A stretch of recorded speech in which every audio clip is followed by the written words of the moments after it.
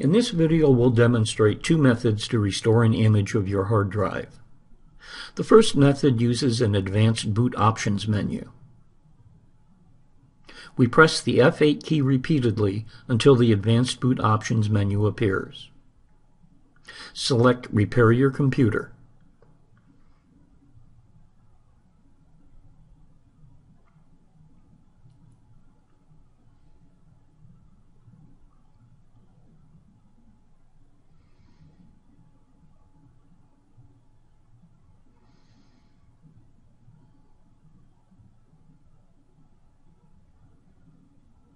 Click the Next button.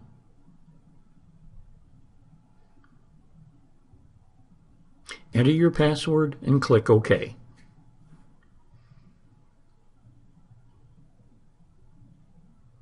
Select System Image Recovery.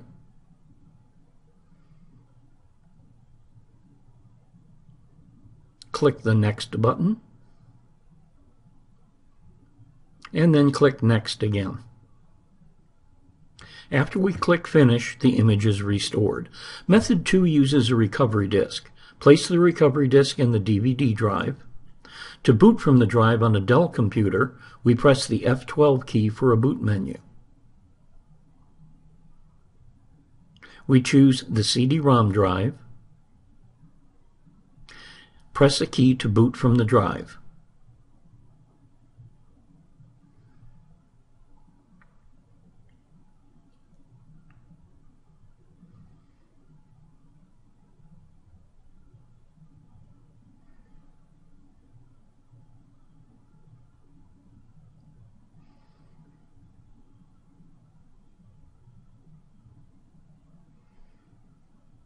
Click the Next button.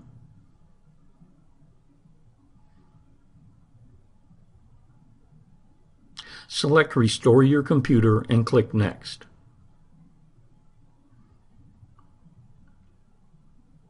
Click Next two more times.